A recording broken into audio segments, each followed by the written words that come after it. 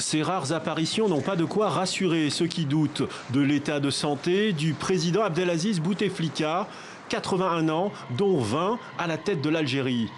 Depuis le mois d'avril, le FLN, parti du pouvoir, lui demande de rempiler en 2019.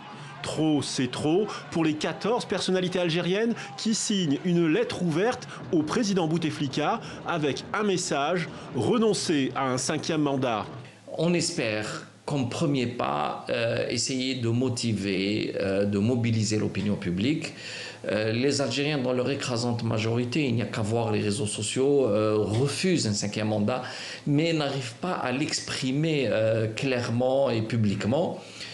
nous avions fait ce geste, mais bien entendu, on ne s'attend pas à ce que le, le, président obtempère et son entourage.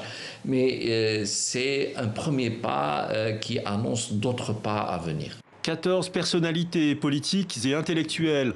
Tous font appel à la sagesse du président algérien. Ils ne jugent pas son bilan, se montrent respectueux, mais le mettent en garde contre des forces malsaines, disent-ils, qui le pousseraient à commettre une erreur dramatique. Une critique directe de la classe dirigeante. Je pense que c'est un appel euh, qui a été euh, lancé dans, le vide, sans grande réflexion. Euh, c'est beaucoup plus un appel qui relève d'une fébrilité de cette opposition.